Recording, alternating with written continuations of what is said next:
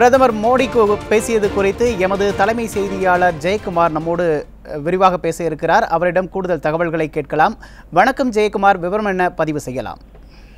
வணக்கம் உமேஷ். காந்தி கிராம பல்கலைக்கழகத்தினுடைய முப்பத்தி ஆறாவது பட்டமளிப்பு விழா இன்றைக்கு விமர்சையாக நடைபெற்றிருக்கிறது. சுமார் இரண்டாயிரத்தி முன்னூற்றி பதினான்கு பேர் பட்டங்களை பெற்றிருக்கிறார்கள். இசைஞானி இளையராஜாவும் உமையாள்புரம் காசி விஸ்வநாத சிவராமனும் இரண்டு பேருக்கு கௌரவ டாக்டர் பட்டம் மோடி கரங்களால் வழங்கப்பட்டிருக்கிறது. இந்த நிகழ்ச்சியில் சிறப்புரையாற்றிய பாரத பிரதமர் நரேந்திர மோடி இயற்கையும் எளிமையும் கொண்ட வாழ்க்கையை காந்தியடிகள் வாழ்ந்ததாகவும் கிராமங்களிலிருந்து வளர்ச்சி தொடங்க வேண்டும் என்று அவருடைய எண்ணத்தை பிரதிபலிக்கும் விதமாக அவர் பேசினார்.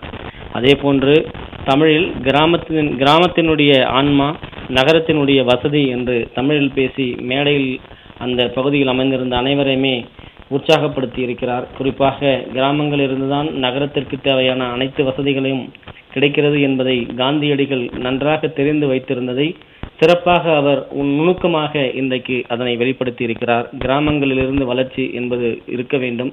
கடந்த எட்டு ஆண்டுகளில் நாடு முழுவதும் கதராலையினுடைய பயன்பாடு எந்த அளவிற்கு அதிகரித்திருக்கிறது இதற்கு மூல காரணம் காந்தியடிகள் தான் என்பதை அவர் தெளிவுபடுத்தியிருக்கிறார்.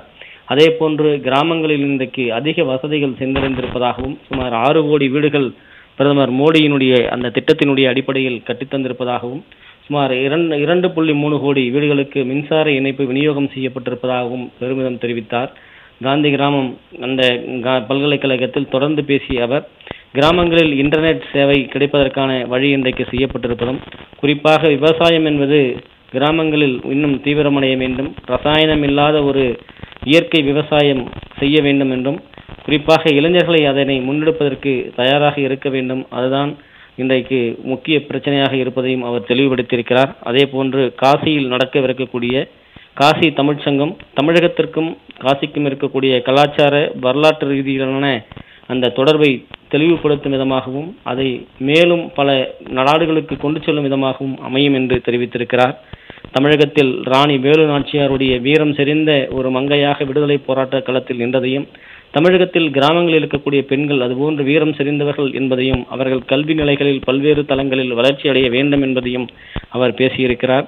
அதே போன்று முப்படை தலைவர் முப்படை தளபதி பிபின் ராவத்தினுடைய மரணத்திற்கு ஒட்டுமொத்த தமிழகம் கண்ணீர் சிந்தியதை அவர் மேற்கோள் காட்டி பேசியிருந்தார். குறிப்பாக நாட்டினுடைய வளர்ச்சி என்பது கிராமங்களை மையப்படுத்தி இருப்பது என்பதையே அவர் இன்றைய பேச்சினுடைய சாராம்சம் அமைந்திருந்தது. அதே போன்று காந்தி கிராம பல்கலைக்கழகத்தினுடைய இந்த பட்டமளிப்பு விழாவில் இரண்டு பேருக்கு தமிழக இசைஞானி இளையராஜாவிற்கு கௌரவ டாக்டர் பட்டத்தையும் மயால்புரம் காசி விஸ்வநாத கா சிவராமன் மிருதங்க வித் வித்வானுக்கு கௌரவ டாக்டர் பட்டத்தையும் வழங்கினார். அதே போன்று இரண்டாயிரத்தி முன்னூற்றி பதினான்கு பேர் இந்த பட்டமளிப்பு விழாவில் பட்டம் பெற்றிருக்கிறார்கள். அவர்கள் அனைவருக்கும் தனது வாழ்த்துக்களை பாரத பிரதமர் நரேந்திர மோடி தெரிவித்துக் கொண்டார். குறிப்பாக முப்பத்தி ஆறாவது பட்டமளிப்பு விழா காந்தி கிராம பல்கலைக்கழகத்தில் வெகு விமர்சையாக நடைபெற்று நிறைவு பெற்றிருப்பது குறிப்பிடத்தக்கது உமேஷ்.